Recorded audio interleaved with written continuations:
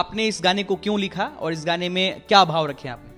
देखिए, इस गीत को हमारे पूज्य गुरुदेव राम भद्राचार्य जी ने बहुत पहले रचा था। और लोगों ने इतना सराहा, आज के समय में जहाँ इंस्टाग्राम पर हिंदी गानों पर रील्स बनाए जाते हैं, कम कपड़े पहनकर लड़कियाँ डांस करती हैं और इस समय में इस गाने का इंस्टाग्राम पे ट्रेंडिंग जाना ये मेरे लिए व्यक्तिगत रूप से बहुत बड़ी उपलब्धि है। सच में, जब मैं इस गीत को रिकॉर्ड कर रही थी, मुझे अंदाज़ा नहीं था कि इतनी बड़ी हस्ती के हाथों इस गाने का लॉन्चिंग होगा। राघव जी, बड़ा नीक लागे। राघव जी के गौवा और आपको बता दें कि इस गाने का उद्घाटन केंद्रीय मंत्री स्मृति ईरानी ने पटना करके किया है। और ये किसी भी कलाकार के लिए एक बड़े ही खुशी की बात है कि उसके गाने को जब इतने बड़े पद पे बैठा हुआ व्यक्ति जब आकर के उस गाने का उद्घाटन करता है तो कहीं ना कहीं बढ़ावा मिलता है कलाकार को। बाईस तारीख को प्राण प्रतिष्ठान होना है। आपने इस गाने को क्यों लिखा और इस गाने में क्या भाव रखे आपने? देखिए, इस गीत को हमारे पूज्य गुरुदेव राम भद्राचार्य जी ने बहुत पहले रचा था।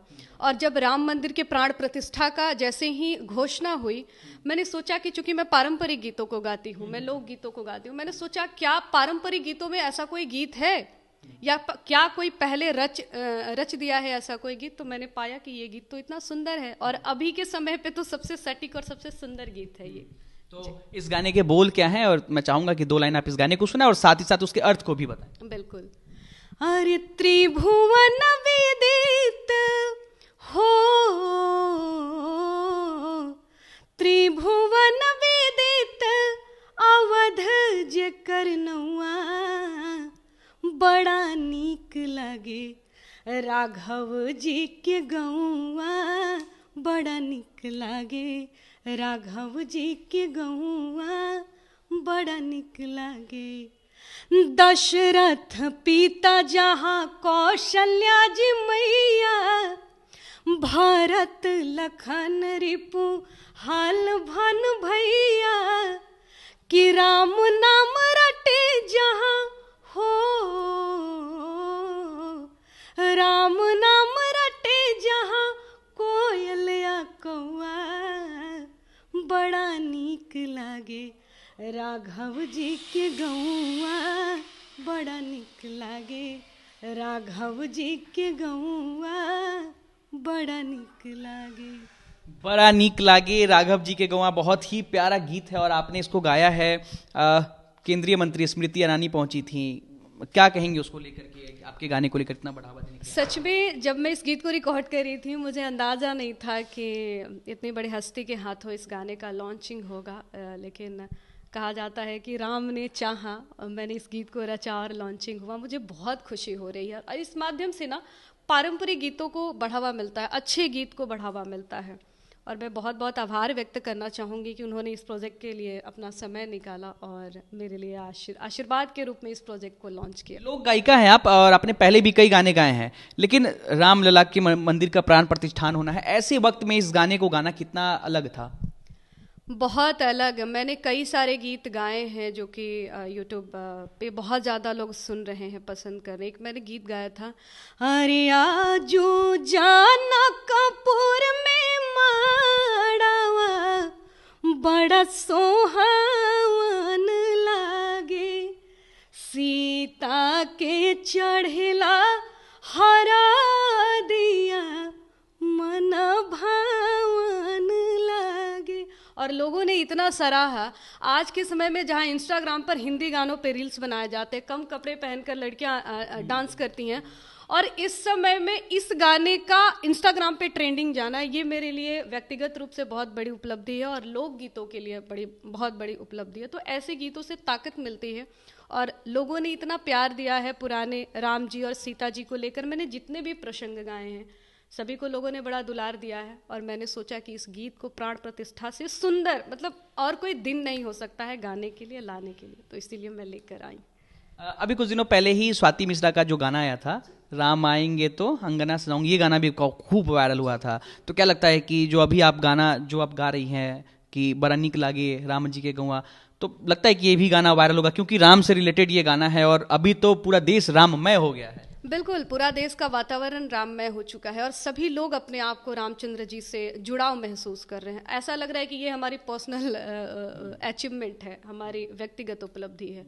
तो ये गीत भी लोगों के बीच जाएगा और बड़ा प्यार मिलेगा। इसलिए कि अभी तक जितने लोगों ने गाया है राम आएँगे या राम आ चुके हैं। लेकिन राम जी का गाँव कितना प्यारा है। क्या वहाँ की संस्कृति है? क्या आज भी वो परंपरा है कि दशरथ जी वहाँ पिता हाँ। कहानी की जब मैं बिल्कुल, बिल्कुल। अयोध्या और पहली झलक में जब मैं अयोध्या देखता हूँ तो उस गाने में अपने बिल्कुल और अभी सभी लोग YouTube चैनल पर यही सर्च कर रहे हैं कि आखिरकार अयोध्या की पहली झलक है कैसी? सभी लोग यही देखने के लिए बेताब हो रहे हैं। तो इसीलिए उन सभी लोगों के लिए मैंने गीत के माध्यम से दिखाया है कि देखिए अयोध्या की झांकी कैसी है? अयोध्या का जो निर्माण है उसकी सुंदर झलक कैसी है? चलिए मैं आगे भी आपसे बातचीत करूँगा। इससे पहले मैं चाहूँगा कि आप एक दो गाना जो है राम जी के लिए और सुनाए हमारे दर्शकों को क्योंकि आपकी आवाज़ बहुत अच्छी है और सुनने में मुझे भी अच्छा लग रहा है। मैं उम्मीद करता हूँ कि दर्शक भी ज़रूर सुनेंगे। शुक्रिया बहुत धन्यवाद आपका। अ, कई सारे गीत मैंने चूँकि मैं पारंपरिक गीत ही गाती हूँ किसी का लिखा हुआ बड़ा कम गाती हूँ। श्री रामचंद्र जी की बात हुई है तो मिथिला एक ऐसा जगह है हाँ, जहाँ श्री रामचंद्र जी को गारी हाँ ससुराल। गाली गारी नहीं गाली अलग चीज़ हो गया हाँ, गारी अलग गारी हमनी के यहाँ गावल जाला। तो महिलाएँ गाती हैं। अरे राम जी से पूछे कि राम जी से पूछे, जनकपुर के नारी बता दो बबुआ लोगवा देत काहे गारी, बता द बबुआ लोगवा देत काहे गारी, बता दो बबुआ। हम तो से पूछिला हे धनुधारी, हम तो से पूछिला हे धनुधारी कि एगो भाई गोर कहे? अरे एगो भाई गोर कहे एगो भाई कारी, बता द बबुआ, लोगवा देत काहे गारी बता द बबुआ लोगवा का काहे गारी बता द बबुआ। इस तरह की एक सवाल मेरा आपसे, आपके लिए पर्सनल रहेगा कि अभी के दौर में लोग ज़्यादातर रोमांटिक गाने, सैड सॉन्ग गाने मतलब तमाम अलग अलग चीज़ों के गाने गाते हैं, आप भी काफ़ी यंग हैं, मगर आपने जो है, पारंपरिक चीज़ों को चुना है, आप ज़्यादातर भक्ति गाने को गाती हैं, भक्ति गीत गाती हैं, लोकगीतों को गाती हैं तो आपने ये रास्ता क्यों चुना?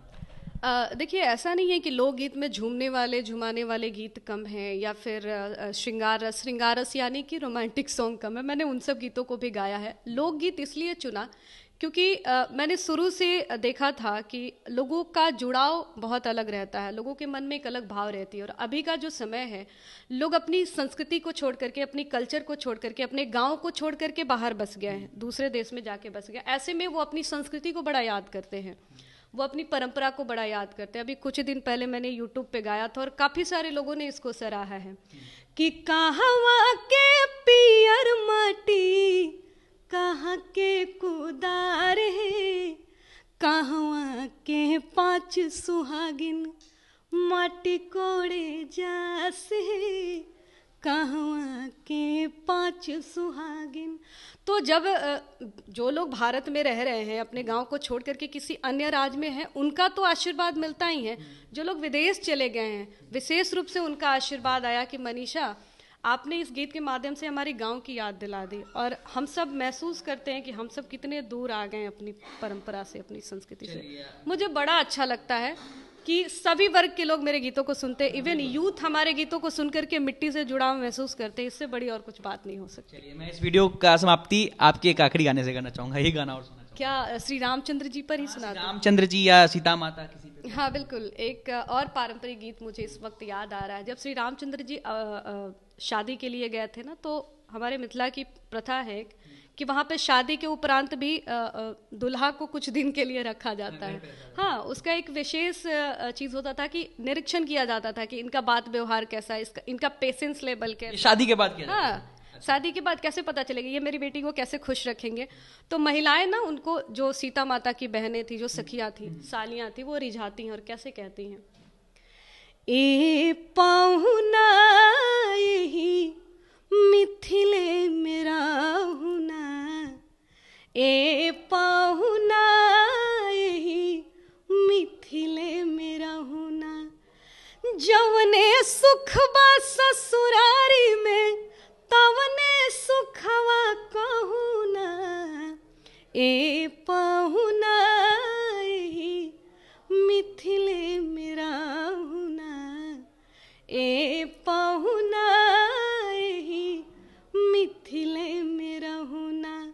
रोज सवेरे उबटन मल के इतर से नहवाइब।